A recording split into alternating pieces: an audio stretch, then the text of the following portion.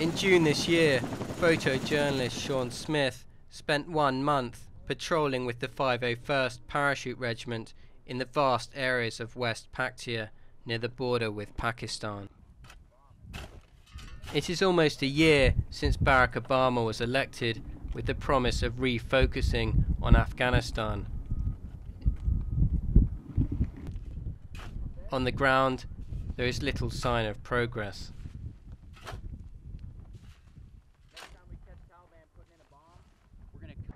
A report comes in on the radio that a Humvee in the convoy has been hit by an IED. Soldiers from the convoy rush to help their comrades.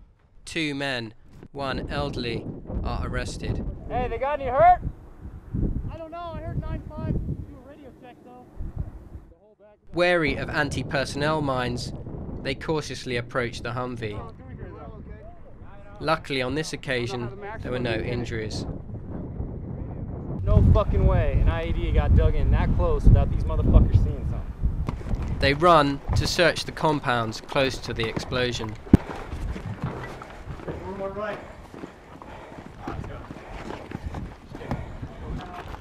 Under control, gentlemen, under control. Stay under control, don't go off by yourself. Hurry up!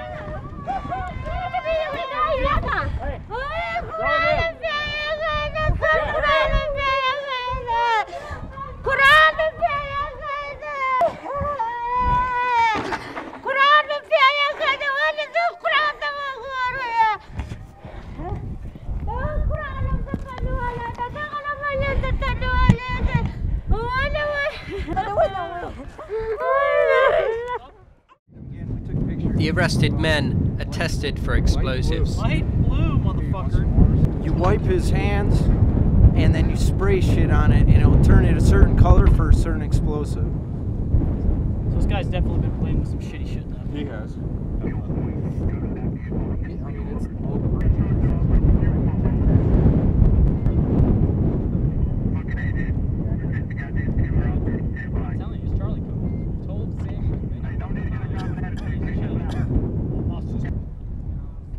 The soldiers wait for the damaged vehicle to be recovered.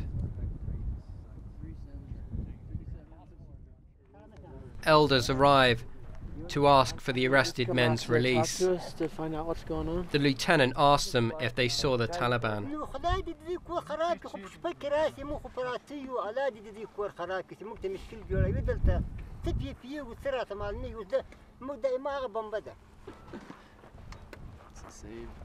It's the same, same story everywhere. Yeah. The same answer. Well, they blew up some, you know, stuff that was supposed to be for the Afghan people. So, you know, the Taliban are, are not working for you. They're working against your own good. The discussion ends for evening prayers. Both arrested men were released. Afghan forces are central to the US strategy, but often they seem to be pursuing different objectives. They're, you know, that they're arresting these suspected uh, Taliban. and here they are just executing personal business. The last time, the one time we came over here, they were just like, oh, we, we don't have any ammo. The only thing, we can't go out on patrol. We can just stay here. it's like, all right. Everybody I see has a full rack full of magazines, so. It's an important meeting with the governor of the whole province, Abdul Katawazai. The American commander, Captain Connor, voices his concerns about the leadership of the local Afghan forces. Is not letting them do their job of securing uh, villages in this area or chasing the Taliban out. The governor disagrees.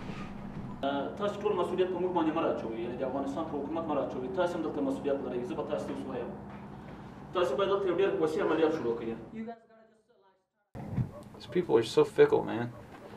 Full of shit.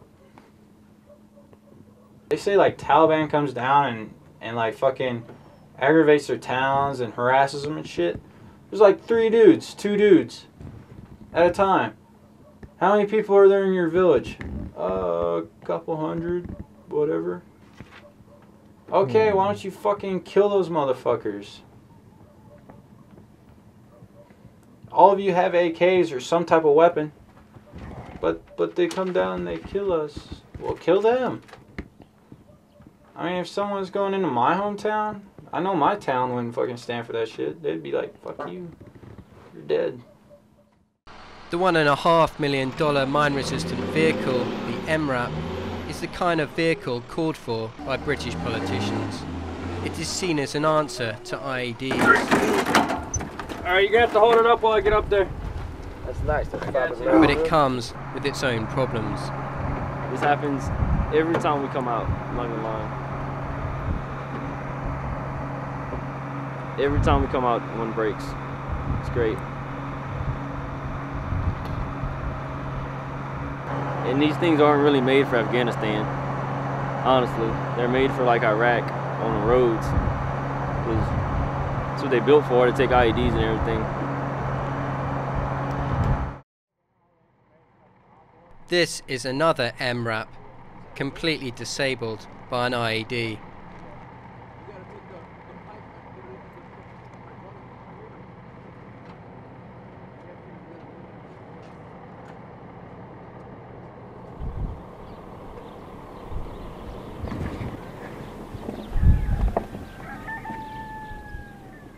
These people just want to be left alone. Yeah, they got dicked. With, they got dicked with from the Russians for 17 years, and then now we're here.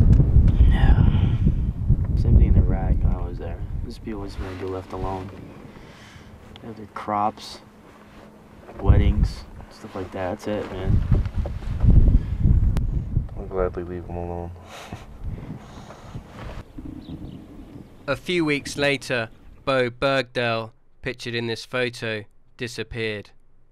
The circumstances are unclear. He was next seen in a Taliban hostage video. He is yet to be released.